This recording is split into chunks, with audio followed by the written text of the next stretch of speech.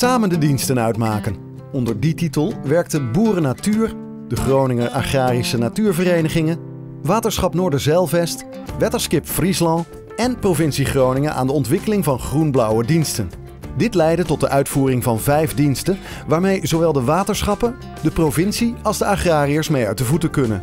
Namelijk riet laten staan in de sloot, aanleg van bufferstroken, een cursus bodembeheer, het plaatsen van stuwtjes en de aanleg van natuurvriendelijke oevers. Natuurvriendelijke oevers leveren met hun ondiepe oeverzone en flauw taluut een grotere variatie aan flora en fauna in en om het water. Oeverversteviging, minder kans op afkalving en vergroten de bergingscapaciteit. Dat waren ook voor Arie van der Spek belangrijke redenen om een natuurvriendelijke oever aan te leggen op een van zijn percelen langs het Hunsigo-kanaal, net buiten Zoutkamp.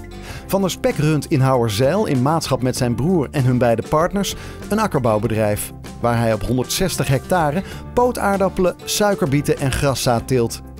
Daarnaast heeft het bedrijf een pluimveetak. Op dit perceel met overwegend lichte klei had Van der Spek veel last van afkalving door de sterke stroming in het kanaal. Op een gegeven moment lees je iets of hoor je iets over natuurvriendelijke oevers. Je gaat je daar weer in verdiepen. En dat bleek, uh, wij dachten dat dat voor deze oever een hele goede oplossing was. Enerzijds gaf het ons een stukje veiligheid, omdat de oever veel flauwer aangelegd wordt met een andere hellingshoek. Zodat wij ook uh, meer afstand konden nemen van het kanaal. De grond die dat kost, ja, daar doe je toch wat mee. Daar groeit natuur. Daar krijg je ook een vergoeding voor om dat een beetje te onderhouden. Uh, dat, dat, was eigenlijk onze overweging om, uh, om dit zo aan te leggen. Van der Spek ziet een win-win situatie, zowel voor zijn bedrijf als voor de natuur. Onze winsituatie is inderdaad een stukje veiligheid.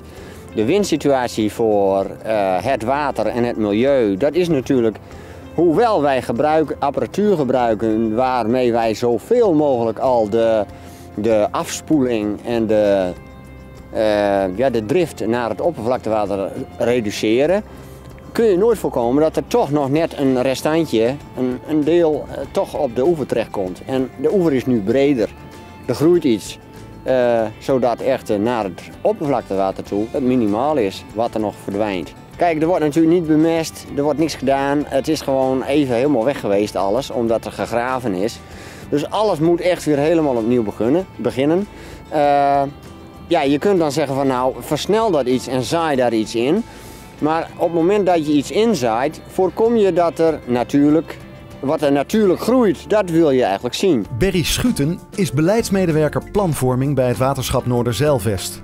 En in die hoedanigheid verantwoordelijk voor de contacten met de agrarische natuurverenigingen en de individuele boeren.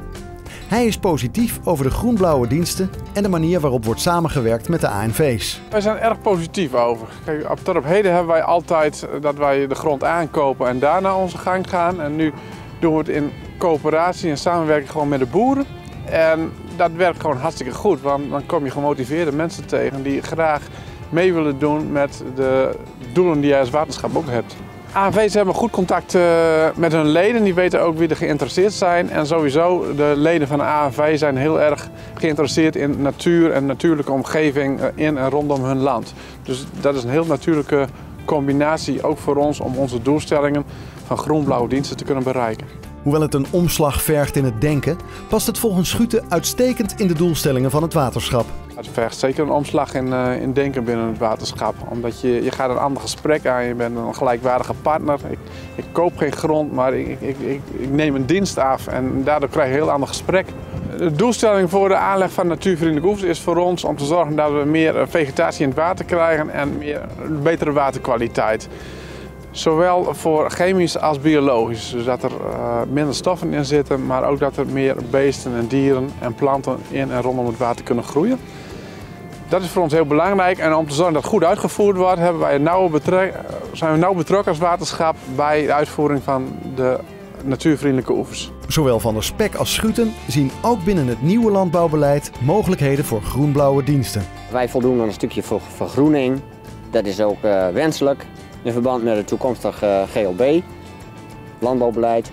En uh, ja, ik, uh, ik, ik sta hier nog steeds wel achter. Ja, ik zie er hele grote mogelijkheden voor groen-blauwe diensten in de toekomst om, om daar uitvoering aan te geven aan onze beleidsdoelstelling die wij als waterschap hebben.